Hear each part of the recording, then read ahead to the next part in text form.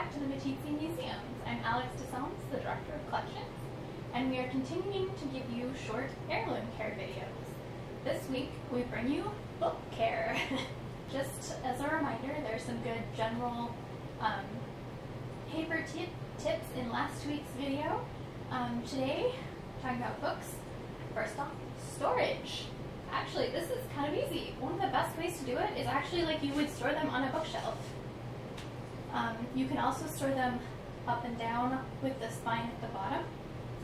You're going to want to store similar sized together. Um, um, another way, if it's an oversized book, you can store it horizontally and stack them. Um, just don't stack them too high or too many because that puts pressure on the book. Okay. So an, a fun tip to uh, safely pull out your books if they're like this and if they're not pushed all the way back. Um, you can push the two books on either side of the book you want and then pull out there and that way you're not pulling down on the top of the spine and damaging um, the book that way. Um, something else you'll want to do is try to remove um, acidic inserts, sticky notes, bookmarks, pressed flowers, all that kind of thing. They can be really pretty. Um, you can wrap them in archival plastic or archival tissue paper and um, have them make a note that this was found in the book, but just having that out of the book increases um, your ability to care for the book itself safely. Um, that way things aren't reacting. Paper is fun like that, it likes to react to things. Um, for when you're displaying the books, don't force your book to lie open 180 degrees. You're going to want to prop up the covers, um, but you know, have it kind of at an opening angle, prop them up, safe, um, built-in cotton, kind of pillowy stuff, or their special foam uh, book props, yes, to hold, hold those up safely. And if possible, try not to leave them open too long to the same page, because then that starts wearing the book's spine. Flip the pages a little bit. Um, though, your best bet of storing is something like this, or on the spine, or horizontal.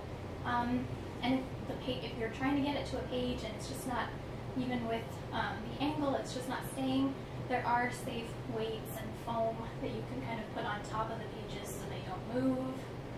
Um, you can also kind of make them yourself if you have the right kind of material, like a,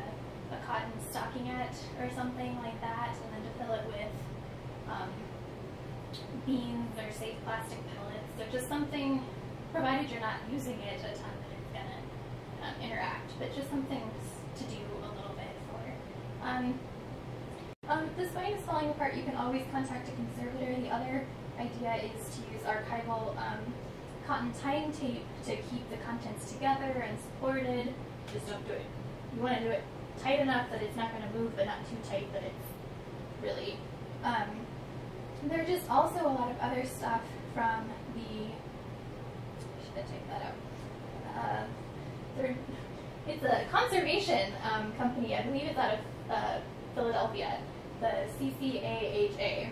Um, they have other tips and care ideas about books and surface cleaning, mold removal, all that kind of stuff. That's probably a little too long for a short little video. Um, other ideas are phase boxes, um, a four flap enclosure, which is really similar, but it's just um, on heavy duty archival paper instead of archival boards, um, a rear book box, safe book jackets, just even acid-free tissue and cloth tape, just to kind of keep that together. Be connecting to Collections Care site has a lot of cool um, resources and webinars, and one of them they did in the fall of 2019 was a webinar on book repair. So if you have any books that you're a little unsure to care about, that may be a first place to go instead of trying to find a conservator. Because while they're really useful, conservators can be a little expensive. So you want to make sure that it's worth it to you to spend that money to repair that book. So we'll be coming to you again next week on another paper topic and let us know if you have any questions.